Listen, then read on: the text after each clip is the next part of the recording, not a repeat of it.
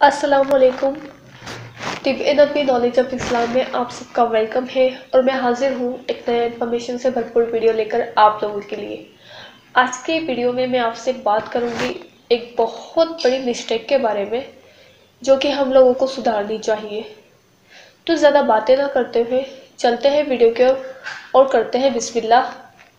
अगर किसी का कुरान पाक, नमाज़ या अजान कंप्लीट होने वाली हो तो वो इंसान कहता है कि मेरी नमाज़ ख़त्म होने वाली है, कुरान ख़त्म होने वाला है या फिर अजान ख़त्म होने वाली है।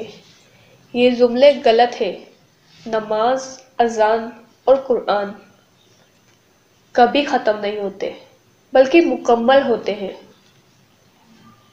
ये बात अगर लोग अपने जहन में उतार लें कि नमाज़ हमेशा से चलती आ रही है वो कभी ख़त्म नहीं हो सकती। कुरान पाक हमेशा से लोग पढ़ते आ रहे हैं। वो सिर्फ़ मुकम्मल होता है, ख़त्म नहीं होता। और अज़ान जब से इस्लाम की बुनियाद पैदा हुई है, तब से अज़ान चलती आ रही है तो वो भी ख़त्म नहीं होती, वो सिर्फ़ मुकम्मल होती है एक वक्त के लिए। सबको ये बात पता होनी चाहिए इसीलिए इस वीडियो को सबसे ज़्यादा से ज़्यादा शेयर कीजिए, क्योंकि उनकी भी असलाह बहुत ज़रूरी है।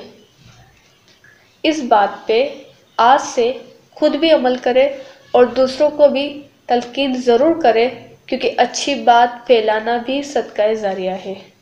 सबको बताकर उनकी असलाह कीजिए कि वो अपने अल्फाजों को बदले। ये जो ख़त्म जो वर्ड है, वो अपनी डिक्शनरी से निकालिए और मुकम्मल जो है, इसे अपनी डिक्शनरी में, अपनी रोज़मर्रा लाइफ में इसको यूज़ कीजिए। वीडियो कैसा लगा आपको? कमेंट करके ज़रूर बताना। मिलते हैं नेक्स्ट वीडियो में। तब तक के लिए अल्लाह हाफिज़।